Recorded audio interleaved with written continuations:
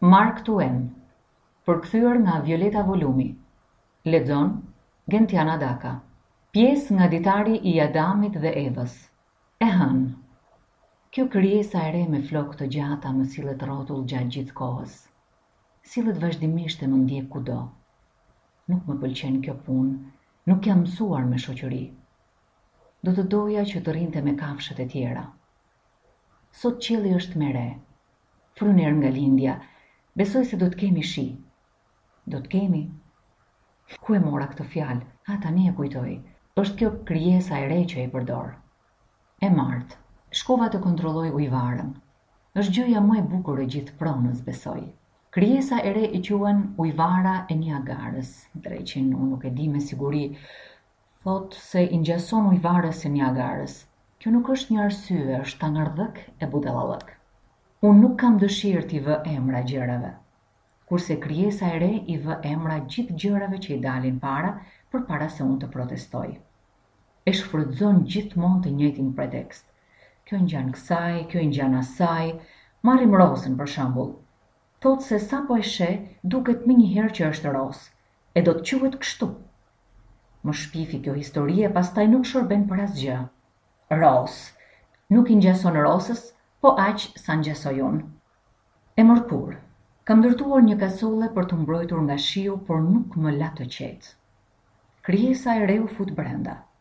Kur u përpoqa ta nxjerr jashtë, nxori ujë nga ato dy vrimat me të cilat shikon dhe i fshiu me shpinën e putrës e bëri zhurmë siç bëjnë kafshët kur ndodhen në rrezik. Do të doja të mos fliste, por përkundrazi flet pa pushim. Nuk kisha dëgjuar një zë njeriu më parë, e çdo tingull i ri dhe i çuditshëm që depërton në këtë vetmi plot ëndrra, ma bezdis veshin e m'duket si një notë fallso.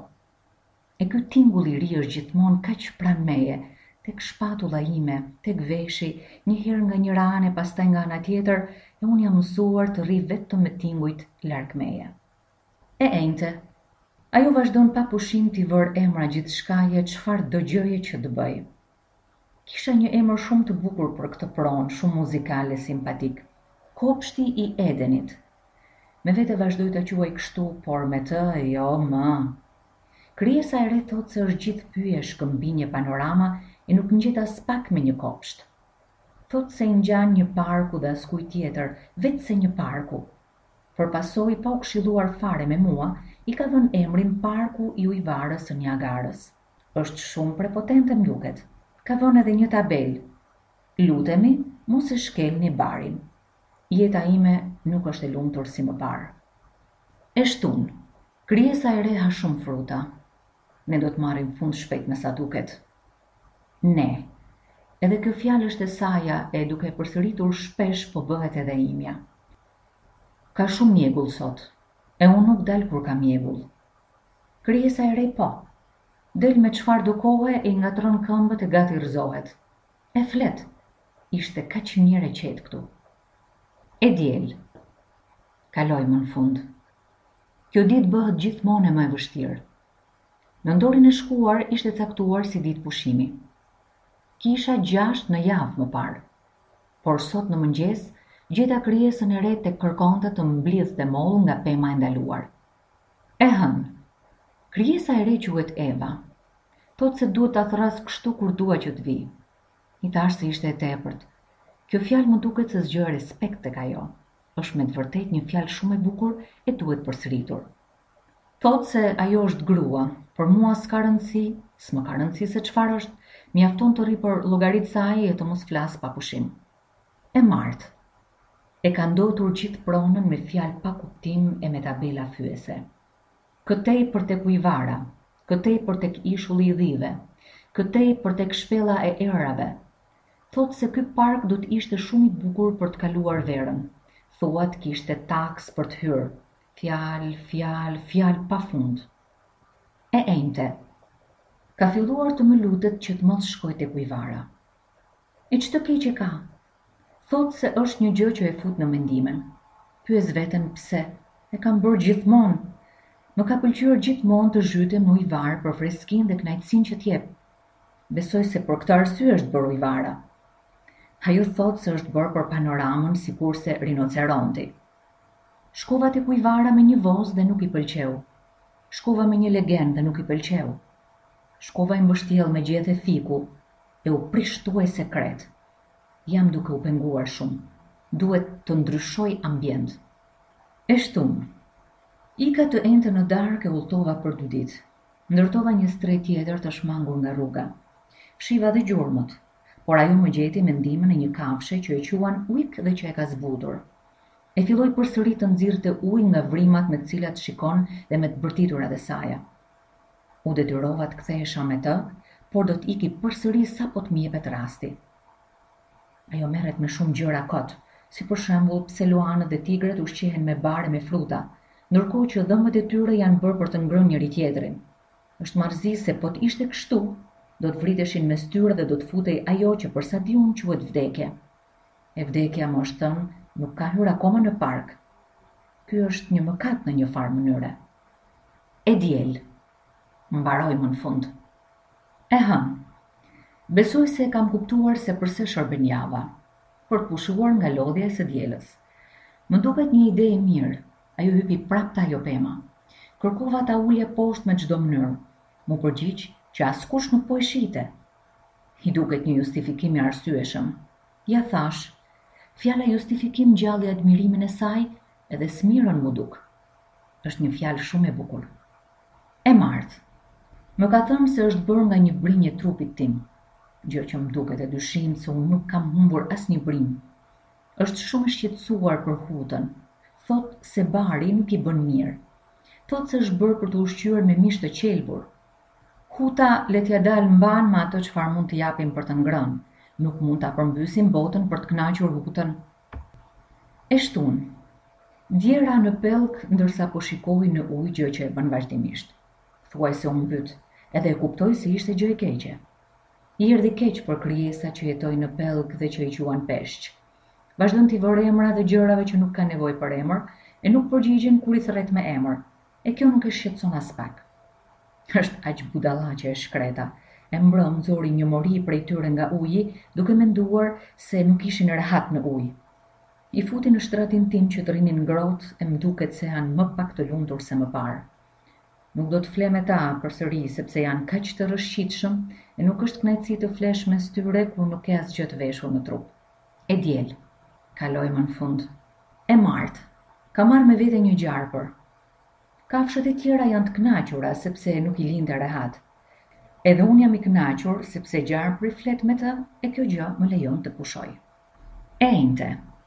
Ajo thotë se gjarpri e këshillon të provojë frutat e asaj pemës e se rezultati do të ishte një mësim i madh i bukur e fisnik. I kam thënë se do ishte edhe një tjetër rezultat do të sillte vdekjen në botën tonë. Ky ishte një gabim nga ana ime. Do të kishte qenë më mirë po ta kisha mbajtur për vete këtë vërejtje. Nuk shërbeu tjetër veçse t'i jepte një ide. Do të mund të shpëtonte hutën e sëmurë e do t'i jepte mish të freskët luanëve dhe tigrave të dëshpëruar. E këshillova të rrinte larg pemës. Parashikoj rreziqe. Do t'iki. E mërkurë. Kam patur një ditë shumë intensive. Kam ikur mbrëmë dhe kam bërë kalin që kisha hipur të vrapojë me sa fuqi kishte përgjatë gjithë natës, duke shpresuar të largohem nga parku dhe të fshihem në ndonjë vend tjetër para se të fillonin telashet. Por ishte e kotë. Rreth një orë pasi lindi dielli, ndërsa kaloroja në një fushë të lulëzuar ku kullosnin mijëra kafshë, përgjumeshin apo loznin mes tyre, papritur shpërthyen në një stuhi zhurmash Dhe në një çast fusha u përfshi nga një emocion frenetik dhe të gjitha kafshët iu vërsulën njëra tjetrës. E kuptova se ç'do të thoshte. Eva kishte ngrënë atë frut. Dhe vdekja kishte hyrë në botë. Tigrat kullufitën kalin tim. As që pyetën kur i dhashë urdhër të ndalonin. Edhe do të më kishin ngrënë edhe mua po të kisha qëndruar aty, jo që nuk e bëra.